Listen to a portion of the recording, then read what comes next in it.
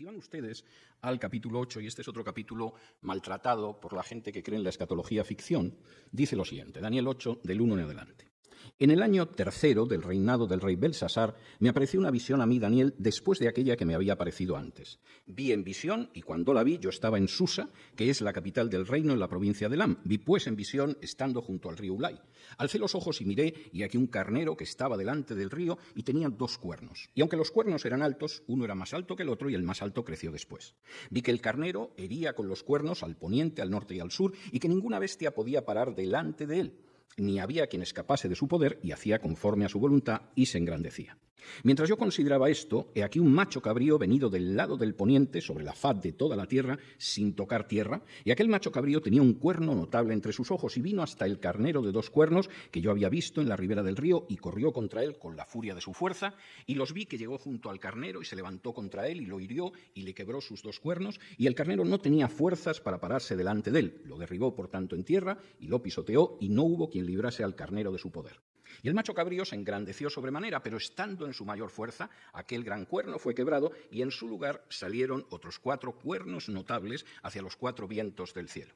Y de uno de ellos salió un cuerno pequeño que creció mucho al sur y al oriente y hacia la tierra gloriosa, y se engrandeció hasta el ejército del cielo, y parte del ejército y de las estrellas echó por tierra y las pisoteó. Aún se engrandeció contra el príncipe de los ejércitos, y por él fue quitado el continuo sacrificio, y el lugar de su santuario fue echado por tierra, y a causa de la prevaricación le fue entregado el ejército junto con el continuo sacrificio, y echó por tierra la verdad, e hizo cuanto quiso y prosperó. Entonces oía un santo que hablaba, y otro de los santos preguntó a aquel que hablaba. ¿Hasta cuándo durará la visión del continuo sacrificio y la prevaricación asoladora entregando el santuario y el ejército para ser pisoteado? Y él dijo, hasta dos mil trescientas tardes y mañanas, y luego el santuario será purificado. Una persona que no conozca la historia del periodo helenístico lee esto y seguramente se pondrá a imaginar cosas interesantísimas sobre la idea que algunos tienen del anticristo, la invasión de Israel, los helicópteros Cobra y, en fin, los drones. Bien.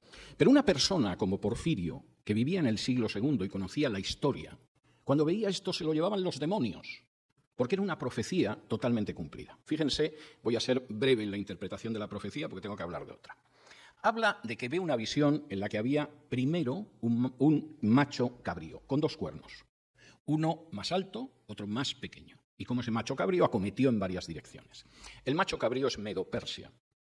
Los dos cuernos son Media y Persia.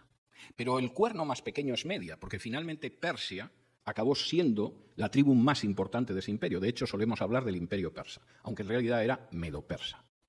Cuando ese imperio está consolidado y se ha movido en todas direcciones, lo que aparece es un macho cabrío que viene de Occidente, y que derrota y aplasta a ese carnero. Un macho cabrío que viene de Occidente. Para ustedes esto no dice mucho. Pero cualquier persona leyendo esto en la época de Porfirio sabía que Alejandro Magno era el macho cabrío que venía de Occidente. ¿Por qué? Porque cuando Alejandro Magno invadió Egipto y llegó al oasis de Asiut, donde estaban los sacerdotes del dios Amón, que era el más importante, los sacerdotes del dios Amón, encantados de poder adular a Alejandro, le dijeron que era hijo del dios Amón. Y desde entonces Alejandro en todas sus monedas aparece con los dos cuernos del macho cabrío. Todavía en árabe, Alejandro Magno no se llama Alejandro Magno, Alejandro el Grande, sino Alejandro el de los dos cuernos, como en las monedas.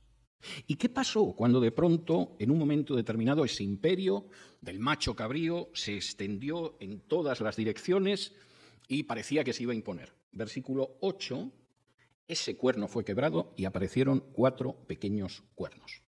¿Quiénes? Cuatro generales de Alejandro Magno, que fue los cuatro entre los que se dividió el imperio. Casandro en Macedonia, Lisímaco en Asia Menor, Seleuco en Siria y Ptolomeo en Egipto. Y de esa división en cuatro reinos surgió otro reino más pequeño, como dice el versículo 9, Antíoco IV. Y aquí describe cómo ese cuerno más pequeño se extendería hacia oriente, se extendería hacia el sur y se extendería hacia la tierra gloriosa, como dice el versículo 9, y en un momento determinado profanaría el santuario. Y dice, ¿y cuánto tiempo profanaría el santuario? Y dice, 2.300 tardes y mañanas. Ni una más ni una menos estuvo profanado el santuario del templo de Jerusalén por Antíoco IV. Exactamente ese número de tardes y mañanas. Antíoco empezó sacrificando una cerda en el altar del templo de Jerusalén, para que quedara claro quién mandaba y que los judíos le importaban un pepino. Y durante todo este tiempo el templo de Jerusalén estuvo profanado, exactamente ese número de tardes y mañanas. ¿Y qué pasó al final de ese número de tardes y mañanas? Los judíos liberaron el templo con la familia de los macabeos y, por supuesto, el templo siguió ofreciendo sacrificios y los judíos siguen celebrando esa fiesta precisamente en una fiesta que cae muy cerca de la Navidad cristiana y en que volvieron a encenderse el candelabro, las luces del candelabro de siete brazos en el templo. La gente que ignora la historia, evidentemente lee esto y a saber lo que entiende. Pero Porfirio y otros como él, por ejemplo, muchos teólogos liberales, claro que entienden lo que pone aquí. Y si esta profecía se ha cumplido, es que la Biblia es la palabra de Dios, es de una exactitud insoportable para alguien que no crea. De manera que cuando tuvo que escribirse Daniel sobre el 160, ¿Por qué? Porque en el año 163 a.C. esta guerra ya había terminado. Vamos a darle a Daniel dos o tres años, al, al, falso autor que es Daniel, le vamos a dar dos o tres años para que se cumpla la profecía. Porque es muy claro lo que dice Daniel y desgraciadamente muestra que la Biblia es la palabra de Dios. El argumento podría parecer poderoso, pero es que Daniel tiene también profecías que se cumplieron después del siglo II antes de Cristo y después del año 160. Y aquí ya tenemos un problema muy serio. Acompáñenme ustedes al capítulo 9, que contiene la profecía de las 70 semanas, que supongo que alguno se va a escandalizar, pero es una profecía más que cumplida. Y, por supuesto, es una profecía que, como se ha cumplido, no solamente señala la fecha en que tenía que venir el Mesías, sino que Daniel no es un libro falso escrito en el siglo II antes de Cristo, sino una profecía de Dios. Dice así la profecía de las 70 semanas, por ejemplo, en el capítulo 9, desde el versículo 24. Setenta semanas están determinadas sobre tu pueblo y sobre tu santa ciudad para terminar la prevaricación y poner fin al pecado y expiar la iniquidad, para traer la justicia perdurable y señar la visión y la profecía y ungir al santo de los santos. Sabe pues y entiende que desde la salida de la orden para restaurar y edificar a Jerusalén hasta el Mesías habrá siete semanas y sesenta y dos semanas. En otras palabras, siete semanas y sesenta y dos semanas son 69 semanas. Bien, o sea que sabemos que entre el momento en el que empieza la profecía y el momento en el que aparece el Mesías, cuando empezamos a contar las 69 semanas.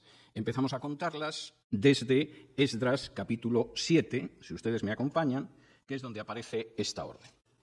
Esdras capítulo 7 y versículos, vamos a ver, desde el 7 en adelante. Está hablando de Esdras, de cómo Artajerjes le dice que suba a Jerusalén, la orden de reconstrucción, y dice en Esdras capítulo 7, desde, vamos a ver, el versículo 6. Este Esdras subió de Babilonia, era escriba, dirigente en la ley de Moisés, que Jehová, Dios de Israel, había dado, y le concedió el rey todo lo que pidió, porque la mano de Jehová su Dios estaba sobre Esdras.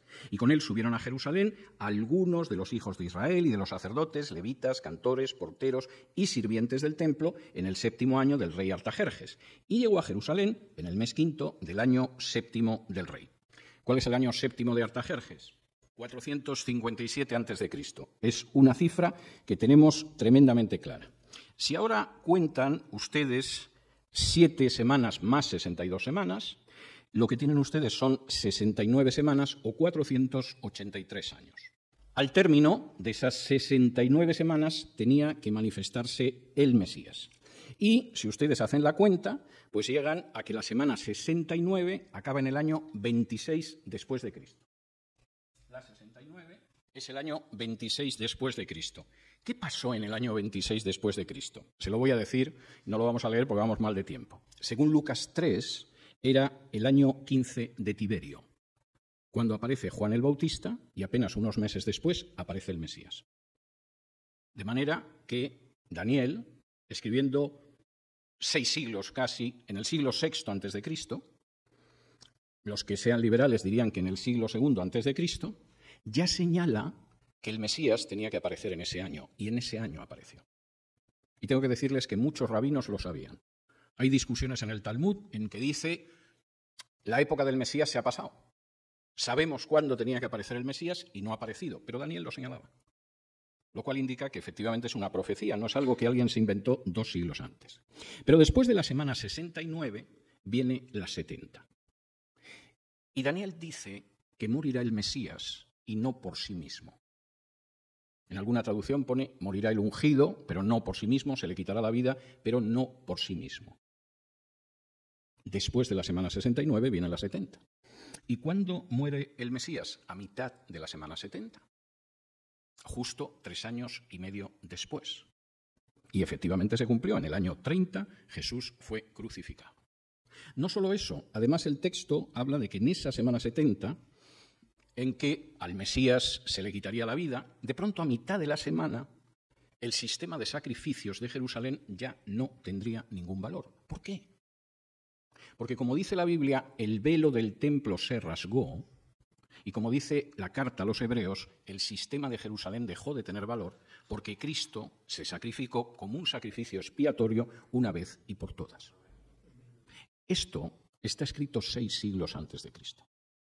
Que luego haya gente que la semana 70 decida proyectarla hacia el futuro y, en fin, y contar una serie de novelas puede ser interesante. Pero la Biblia es muy clara. Hay 69 semanas hasta que aparezca el Mesías y en la semana 70 el Mesías va a ser muerto y no porque se suicide. Y a mitad de esa semana el sacrificio se acabó, pierde cualquier tipo de valor porque ha muerto el Mesías y efectivamente se produce la expiación de los pecados. No se puede escribir esto simplemente en el siglo II antes de Cristo. La Biblia, le guste o no le guste a la teología liberal, a Samuel Pagán, a la editorial CLIE o a los seminarios que utilizan estos desdichados textos, es exacta. Contiene multitud de profecías cumplidas, incluida la fecha de la manifestación del Mesías en el año 26 y la de su muerte en el año 30, tres años y medio después, a la mitad de la semana 70. Pero además, y puesto que estoy mencionando lo que es la visión del Mesías y las profecías cumplidas, la Biblia da otra vez la fecha del nacimiento del Mesías. Aparece al final de Génesis cuando Jacob bendice a sus hijos y dice que el Mesías, el Shiloh, aparecerá cuando en Judá no, cuando Judá no tenga el cetro regio.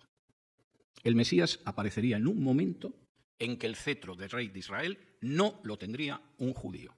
Eso solo ha pasado una vez en la historia. Y fue cuando Herodes fue el rey de Israel. Herodes no era judío, era idumeo. Es tremendo, pero la Biblia contiene hasta la época y la fecha exacta en que se manifestaría y moriría el Mesías. Es muy triste que haya gente que lo siga esperando.